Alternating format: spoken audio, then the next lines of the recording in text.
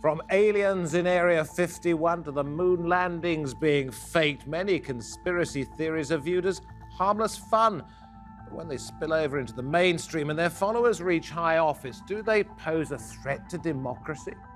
Welcome to Roundtable.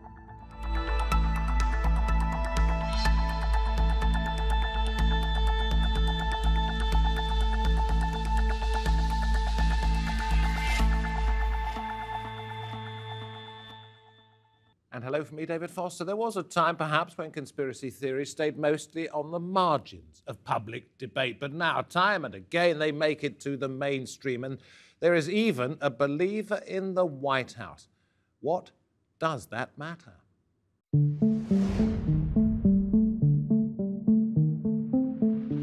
The moon landings were faked.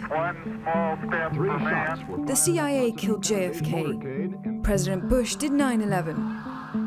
Far fetched theories of the past continue to cling on in the public consciousness, and other recent examples have spilled over from online message boards and social media into the mainstream. 33% of French voters are said to believe in a government plot to replace white people with Muslims and immigrants, a conspiracy known as the Great Replacement. That theory inspired the man accused of murdering 49 people in a terror attack on two mosques in New Zealand earlier this year. Across the Atlantic, a man was recently charged with killing an infamous New York mob boss in a murder apparently motivated by the dark web theory known as QAnon. Its followers believe President Trump is in a battle against a deep state conspiracy. Trump himself launched his political career leading the birther movement, the false claim that President Obama was not born in the US. In 2018, the University of Cambridge found a direct correlation between conspiracy theories and populist politics. So, at a time when many have lost trust in experts and provable facts are doubted, are conspiracy theories a threat to democracy and the rule of law? Let us get chatting. I'm very pleased to say that joining us on the line from New Zealand, we have Dr. Matthew Dentith, the teaching fellow at the University of Waikato, who's the author of The Philosophy of Conspiracy Theories, with me at the round table. Professor Chris French, head of Anomalistic Psychology Research Unit at Goldsmiths, University of London.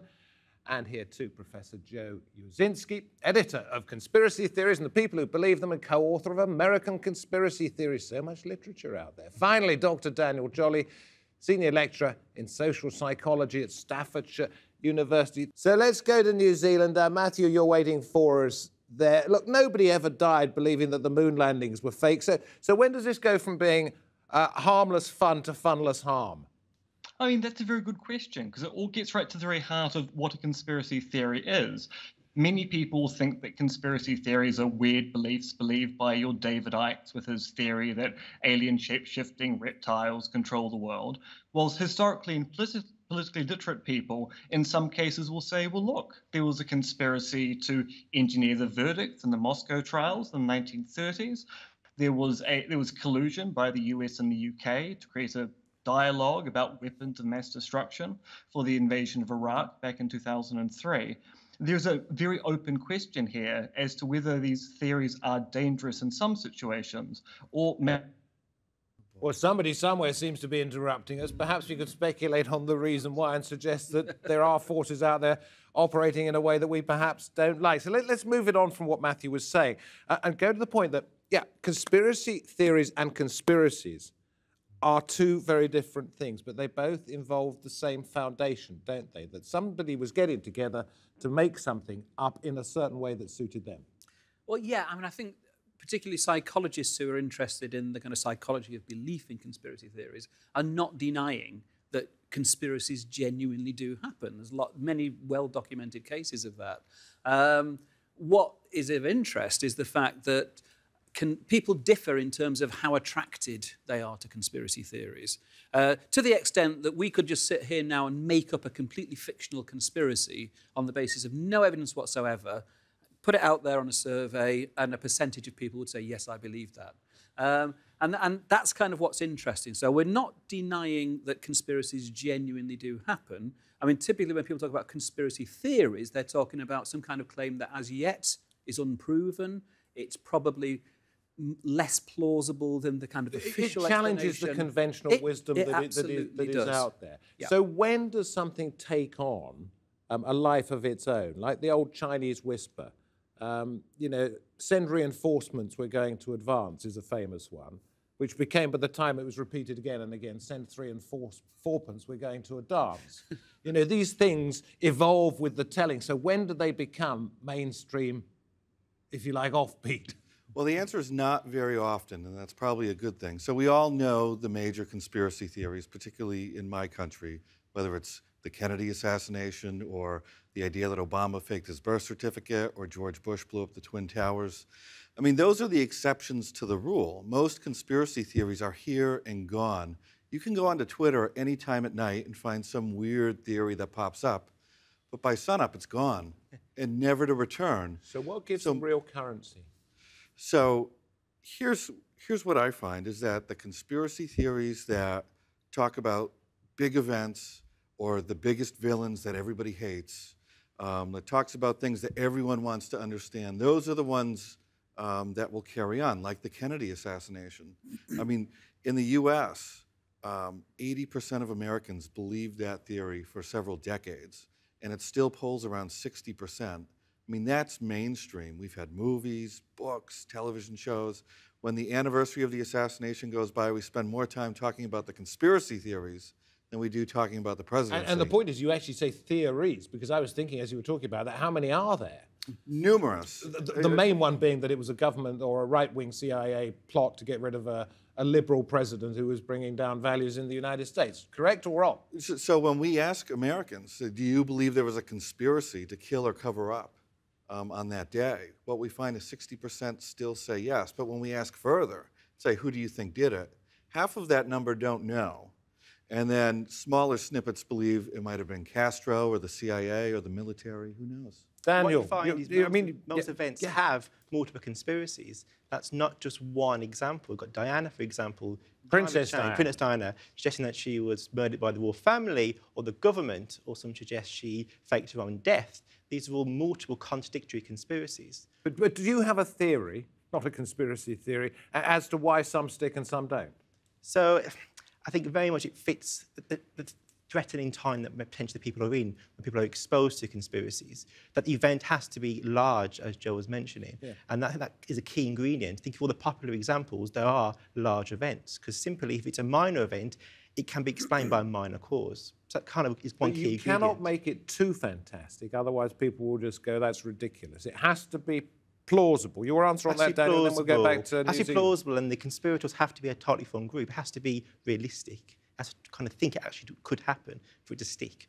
But it's quite a challenging environment, really. Where are, is the harm in a conspiracy theory? Where can it go wrong for society as a whole? I think, I mean, I mean, the vast majority of conspiracy theories are in and of themselves harmless.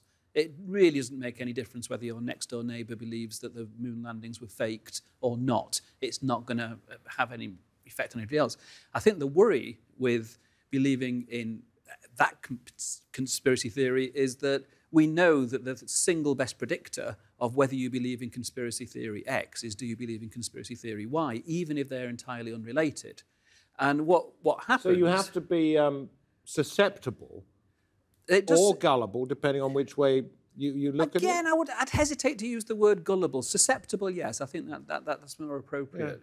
Um, it gets to a point where really, with a lot of these uh, conspiracists, it's a matter of just not believing the official story, as they would refer to it. So, uh, and the danger there is that you then begin to doubt everything. You don't know what to believe. And I think that's the big worry at the moment in this era of, of fake news that people don't know which sources of information they can trust. It's not necessarily that they believe every single conspiracy theory that comes their way, but equally, they just don't know what But to once believe. your foundations of truth are, are rocked, then it's quite possible that you will continue to disbelieve most of what you're told, isn't it? Well, there are some people who will accept almost any conspiracy theory.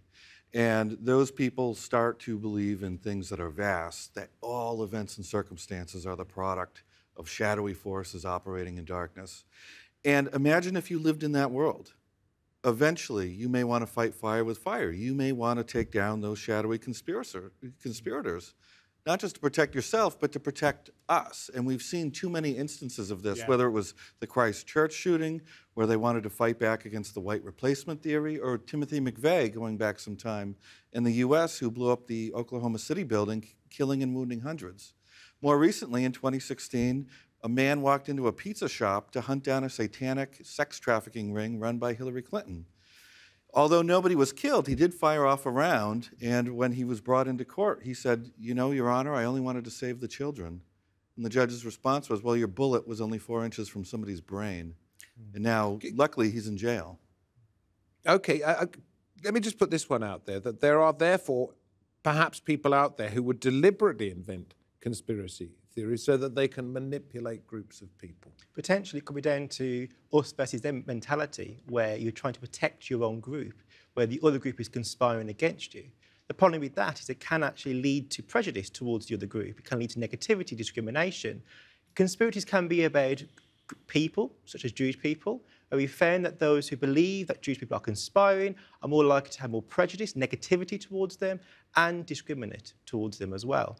So it, conspiracies can have a wide range in consequence. It can impact our It's political behaviours, impact our climate change behaviours, impact vaccines, political violence.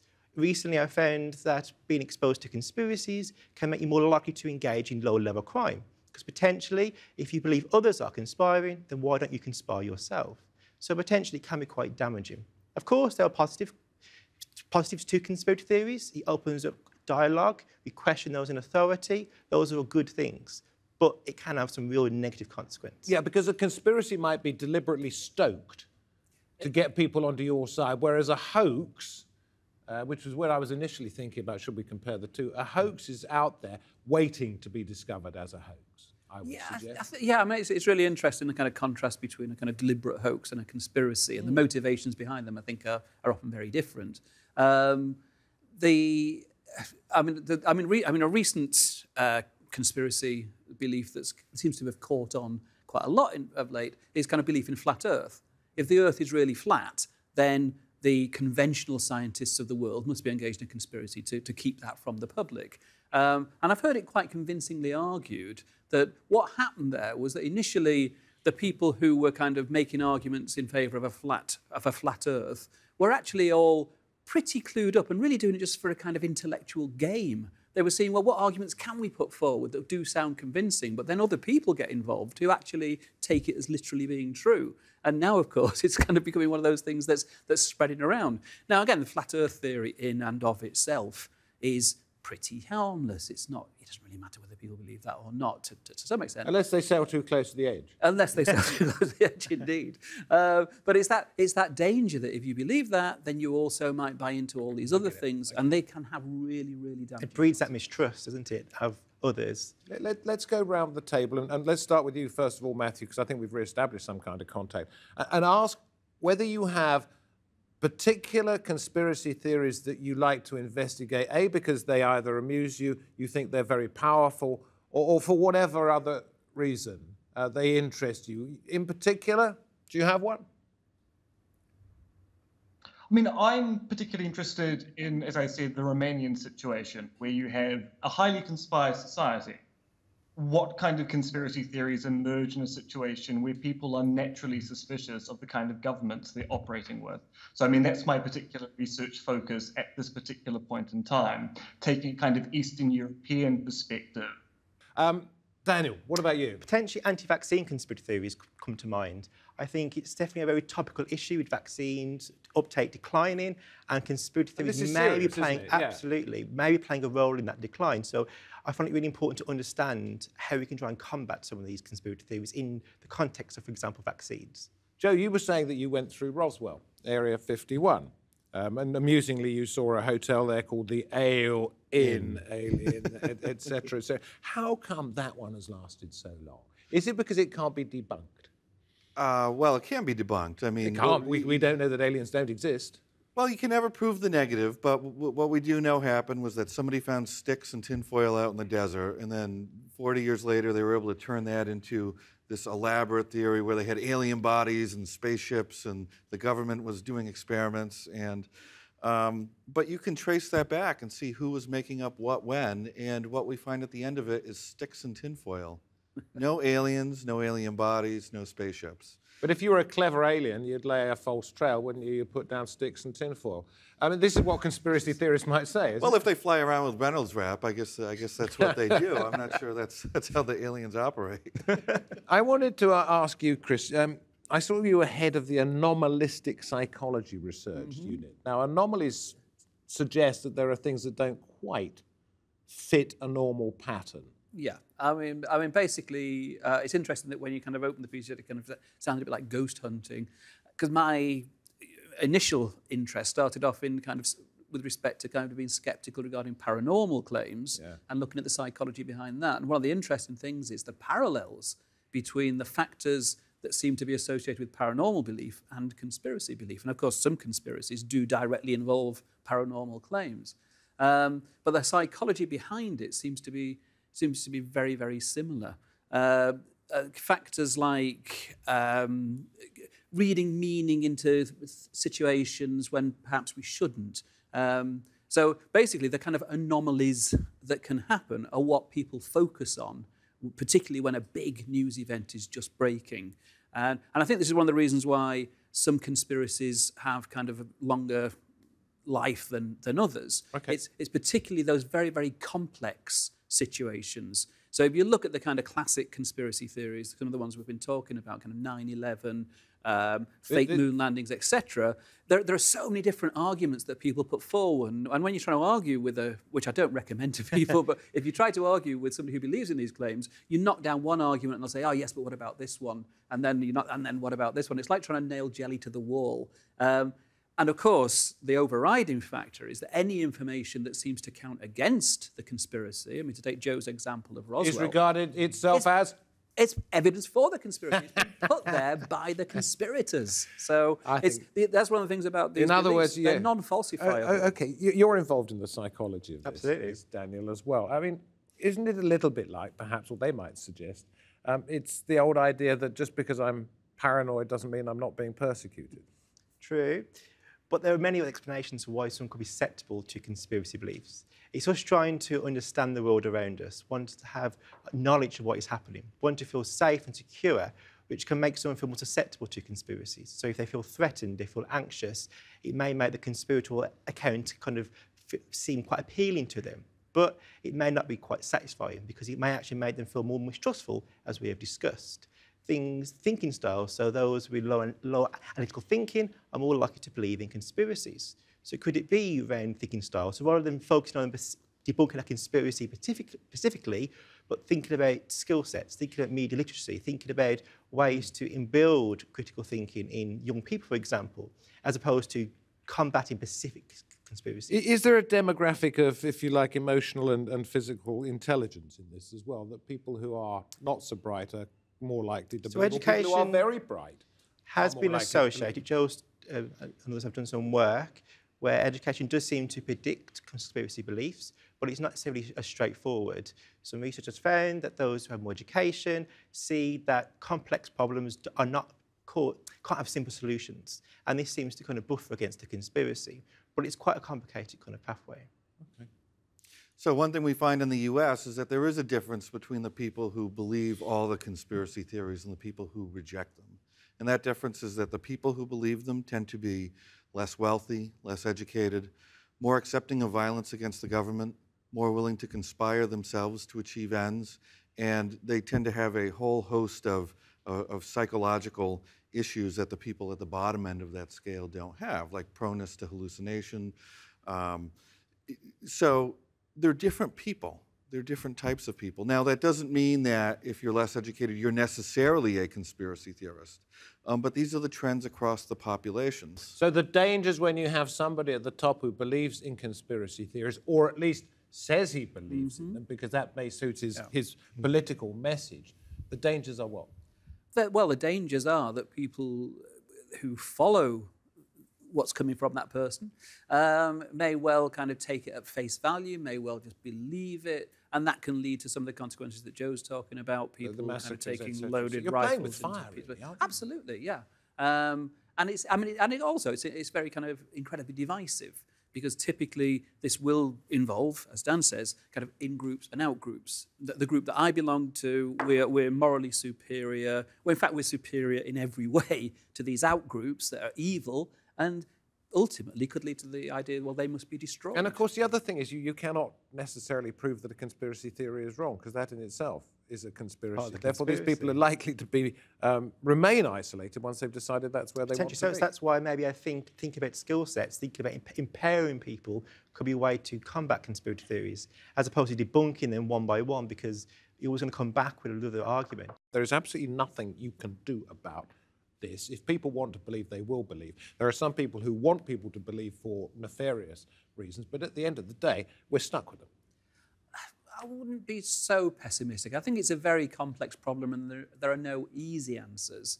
But I think that ultimately what we need to do is to try and engage, particularly young people, with critical thinking. It's not about telling people what to think, it's about giving them the tools to help them to make their own minds up on the basis of the best available evidence and getting in early to try to, to, to kind of make that an important message for them, a priority for them, rather than the kind of clickbait society that we're in, where people kind of get sucked in from one eye-catching story on the internet into another and end up going down kind of rabbit holes that can lead to all kinds of weird ideas. Conspiracy theories and the people who believe them. What was the main conclusion uh, of your book?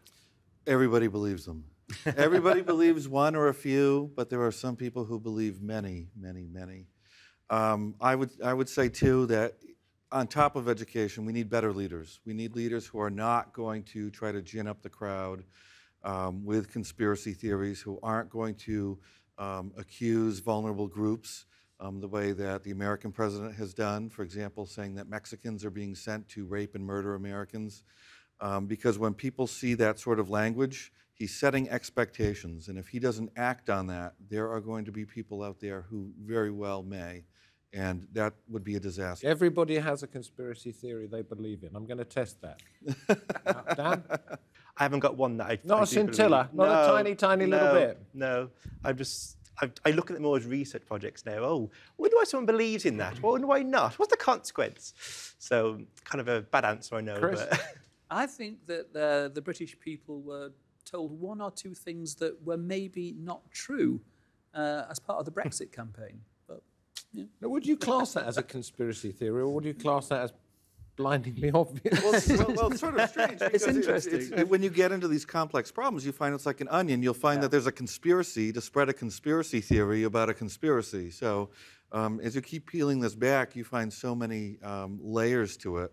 Um, but it is absolutely true. There are often people, um, particularly in political campaigns, who are operating perhaps with you know, low moral standards, who are spreading ideas that may not be true and um, attempting to manipulate people. Dan, Dan, the more you study it, you said the, the, the more excited you become by, by what you learn. definitely more excited So- about it. yeah, so tell me some of the new things that have crossed your I'm desk more or just your thinking, mind. obviously showcasing the dangers of conspiracy theories. I'm really passionate about looking at interventions. So the things we talked about today, actually testing them, seeing do they actually work? How can this actually work in society? 'Cause it's a big challenge, and it's a challenge that we are working towards. But nothing is ever black and white. So it doesn't have to be sort of wrong if you're a conspiracy theorist as opposed to a conspiracist. Uh, you don't have to be uh, wrong if you are the person who's putting that idea out there in the first place. It, it, it's all about sort of shades of grey, isn't it? It is, it is. And I, and I think, I mean, one of the aspects of people who tend to believe in conspiracy theories tend to be more black and white thinkers and, and not appreciate the kind of subtleties and the greys and the complexities. Belief in this stuff, it's to some extent harmless, as I said before. The danger is that people can get sucked in and end up believing some of these really dangerous conspiracies. Uh, you know, the anti-vax movement is a kind of prime example of that, of something that's having really effects. Quite possibly it, it was founded in good faith. Oh, I think I think the vast majority of the people uh, who who believe in these conspiracies, they genuinely do believe. The people who are pushing it usually do believe in it passionately, to the extent that they will put their own lives at risk in, in defending those beliefs. But um, you know, for all that, if if actually those claims are wrong and they're damaging, we have to Get try it. to ways to defuse them. So, Joe, they're not all fruitcakes, but some of them are fruitcakes and they're dangerous ones. Yeah, I mean, I'll t- tell you, my, my wife was diagnosed with cancer some number of years ago, and she went right, you know, what you do in the modern age, you go right to the internet. And she started Dr. Goog- Google. Yeah, started Googling what she had. And many of the top hits were things telling her to slice onions and tape them to her wrists and feet, to eat ungodly amounts of turmeric. Um, but none of these are going to do anything for you. And if you just did those sorts of treatments and eschewed real medicine, she'd be dead right now. And um, in some ways, she's lucky that she has a husband who reads the medical journals and is at a university that has a very good cancer center. But we got all the real medicine. But there are many people who die every year because they take the phony advice that's out there. And, the and if we had enough time, we could talk about the difference between old wives' tales or new old wives' tales and conspiracy theories. We thank you very much indeed. We could have gone on talking for a, great deal longer. I suppose the only thing we do know for sure is that the truth is out there somewhere. A la Area 51, perhaps. Thank you for taking part in the program. Thank you for watching from me, David Foster. Goodbye for now. Hope to see you next time.